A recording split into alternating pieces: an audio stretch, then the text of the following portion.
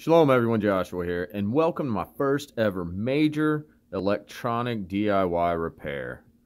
So I scored this 46 inch Samsung from an ad online for free, and it is having backlight troubles where the CCFL tubes that were used for this model are not heating up and lighting up quickly.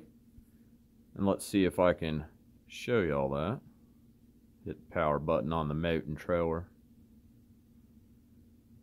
And no picture right away.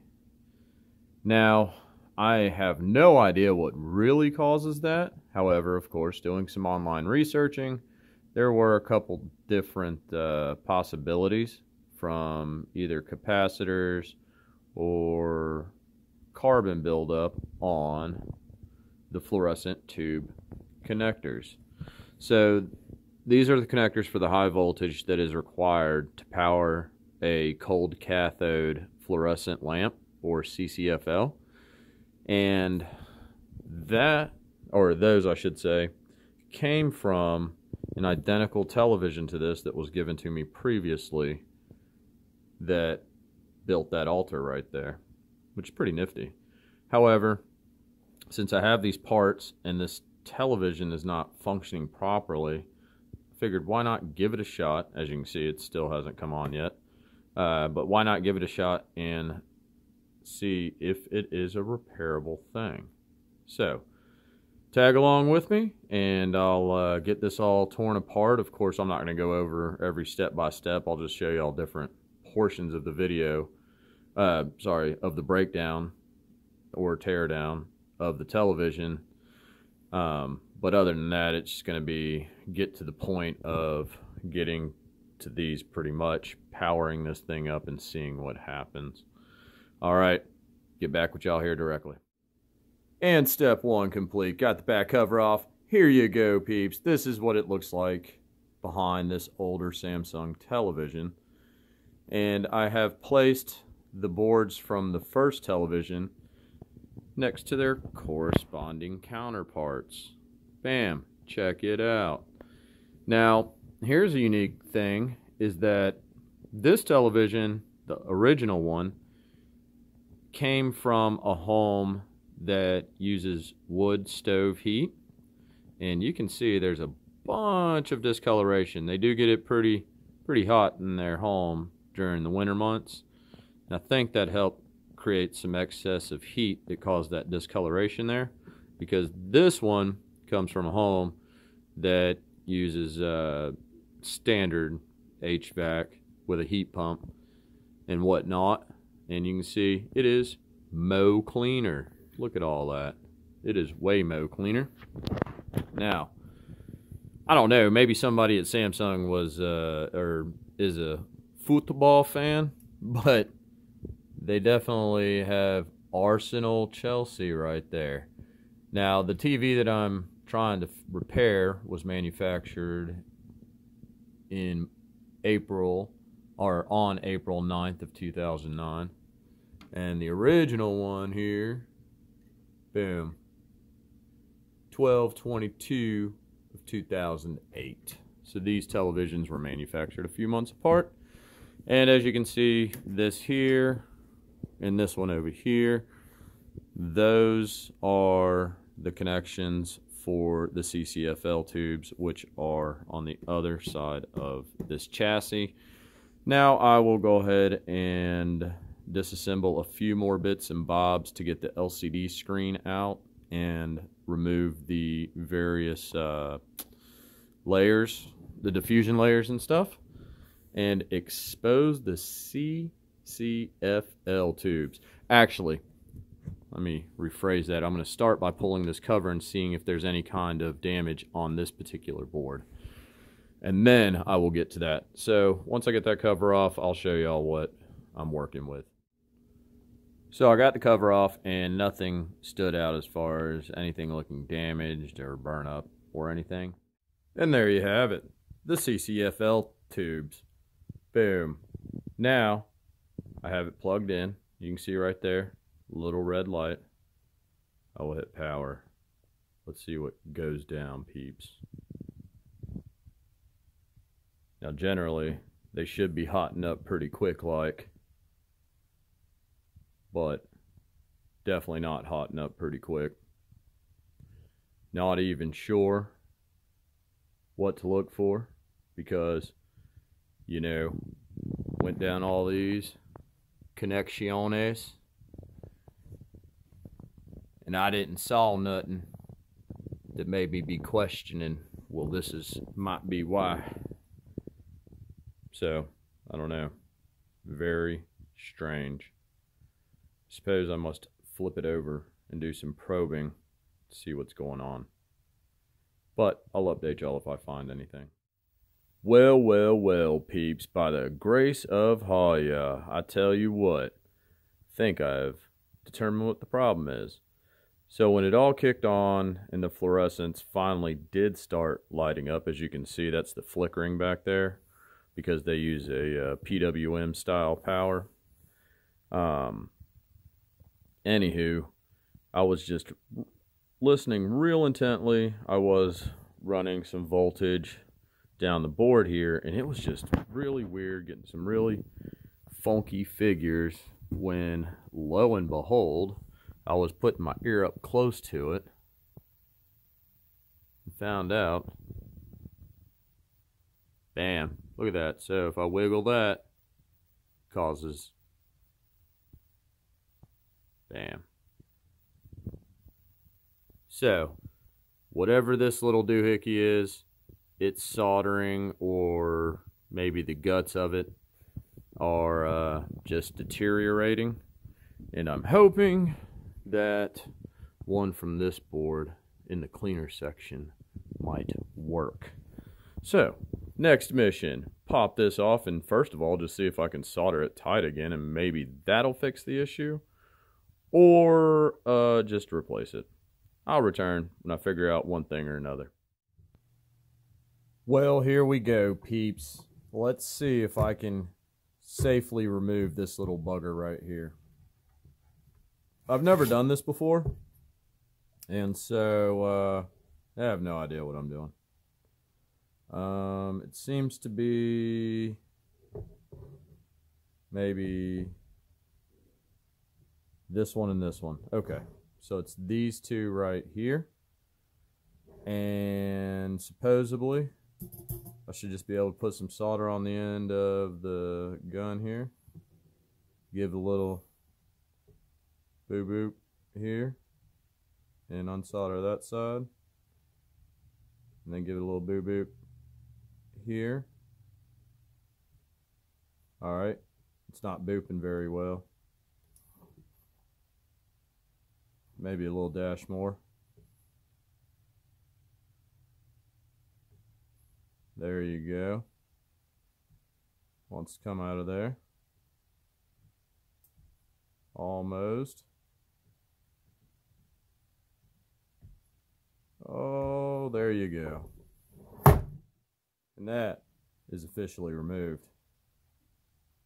Cool. Now, let's see about inserting it in the other one. I shall return momentarily. All right, back at it. Just going to try and remove this other one right quick. Maybe get a little bit of the goods on there. Now, of course, gots to be extremely careful because this one was definitely live. And there are some capacitors that I don't want to be messing with. So, danger, Will Robinson, danger.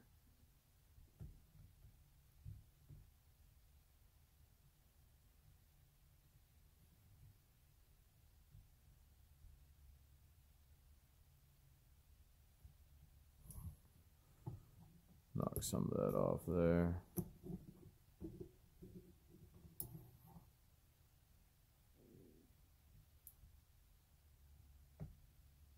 Come on, baby. All right. So now that one is removed.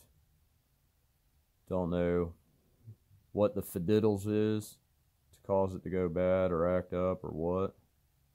I don't know. See if I can clean the circuit board up because I have to get the other one through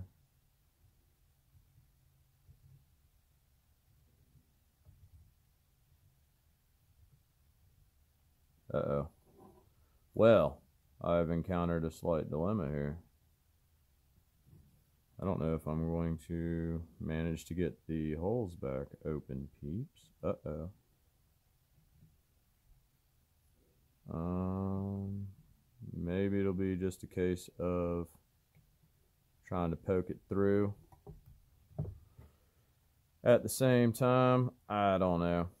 So let me diddle with that and uh, make sure these are somewhat cleaned up. So that way it might squeak in there. All right. So I have the old one from the original television inserted into this slot. Now it's time to see if I can get it to actually reseat in there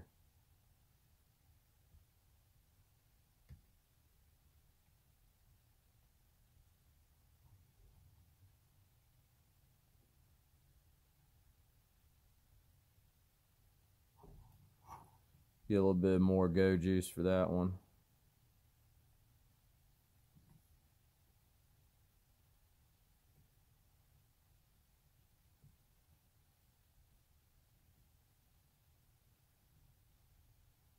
And I believe, just like that, folk, that little mammer jammer is going to be good to go. All right, well, now it's time to put the television back together and get it turned on and see what happens. I'll catch y'all directly. Okay, so with everything plugged in now, let's see if it works.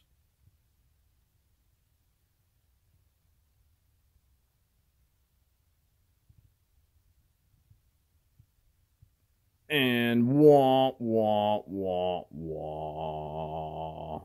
It was a fail.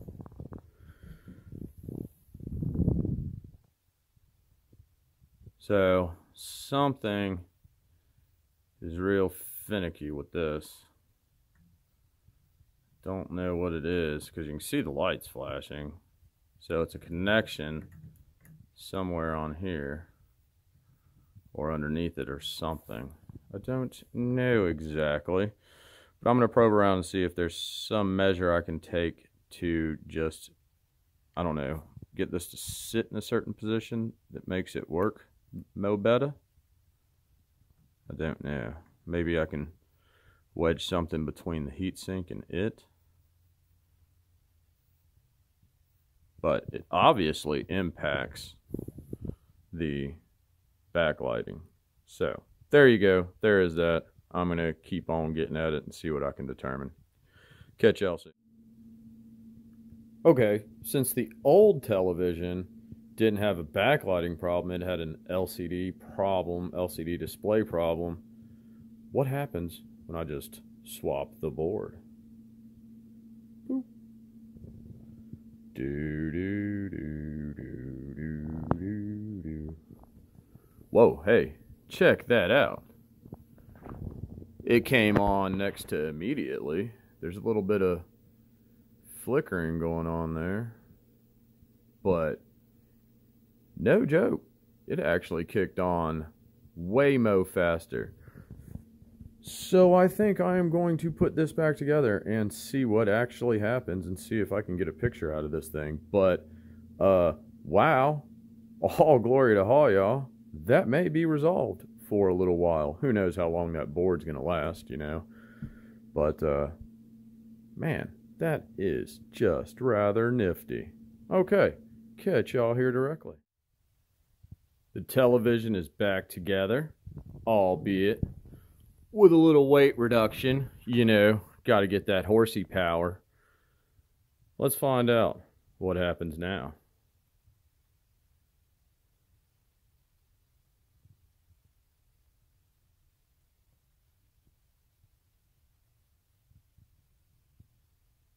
Check it out.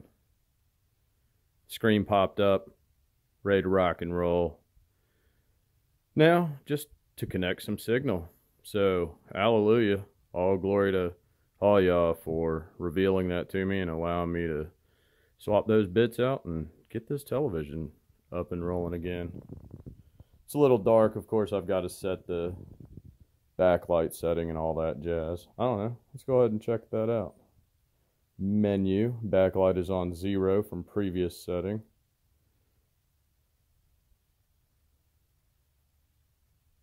And there you have it.